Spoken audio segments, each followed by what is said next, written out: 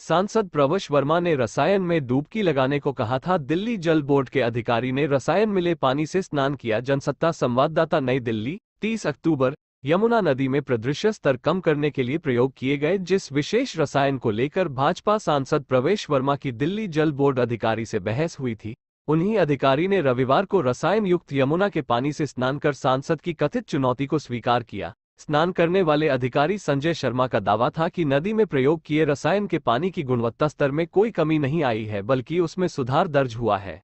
हाल ही में सांसद प्रवेश वर्मा ने नदी को साफ़ करने के लिए प्रयोग किए इस रसायन व आम आदमी पार्टी के दावों को लेकर सवाल खड़ा किया था और उन्होंने अधिकारी संजय शर्मा से काफ़ी अभद्र व्यवहार किया था, जिसकी वीडियो सोशल मीडिया पर चर्चित हुई थी।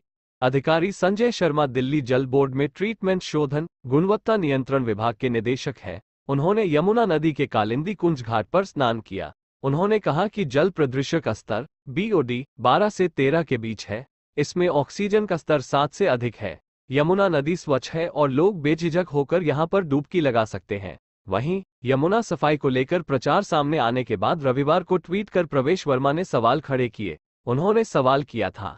सोशल मीडिया पर छाया रहा नहाने का वीडियो।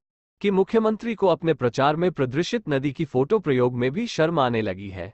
काश प्रचार में प्रयोग किया गया पैसा यमुना नदी को साफ़ करने पर खर्च किया जाता, घाटों की जाँच के लिए पहुँचे राजस्व मंत्री।